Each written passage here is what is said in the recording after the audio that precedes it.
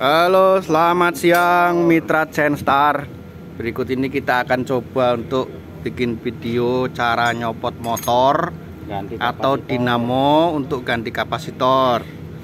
Siapkan dulu obeng plus, kunci 22 kunci 22, 13 sama 13, 14, ini sama 13 terus penggaris ya. Garis. Penggaris ini digunakan untuk Nih, balok terus besi. Balok atau besi buat ngangkat biar nggak terlalu berat.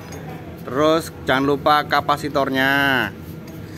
Oke kita mulai langkah awal. Matiin listrik dulu. Listrik matiin dulu jangan lupa.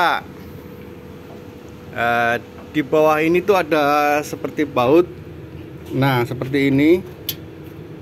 Nah ini ini kita buka untuk membuka bagian sini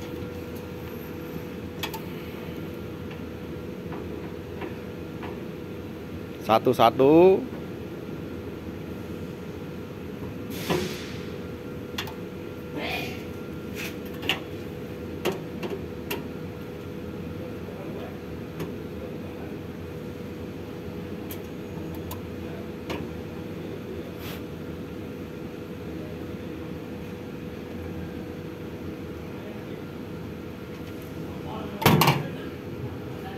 cabut kalau Dicabut. susah ditarik Kalau susah bisa dicongkel atau ditarik.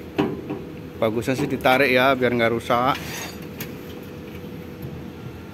Buka Nah, langkah kedua buka tutup mika.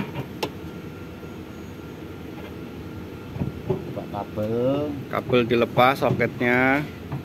sesuaikan arahnya ini Ya, jangan lupa nanti masangnya lagi seperti itu.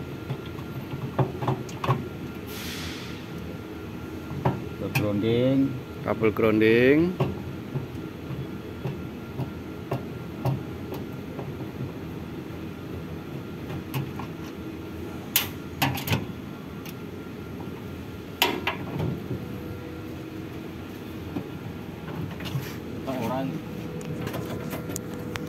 Itu ada Karet, karet isolator. isolator biar nggak ada sinyal sinyal listrik turun.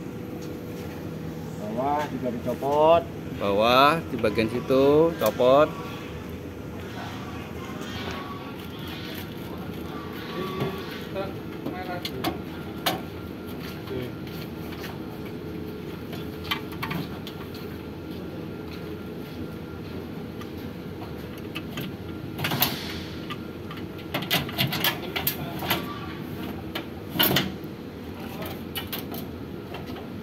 Tarik Oke, kabel sudah copot semua.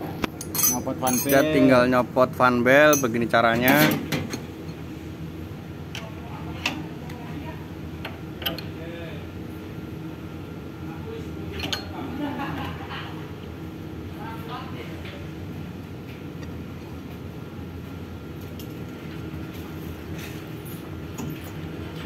dalam atau kabel grounding Dalam kabel grounding dilepas juga.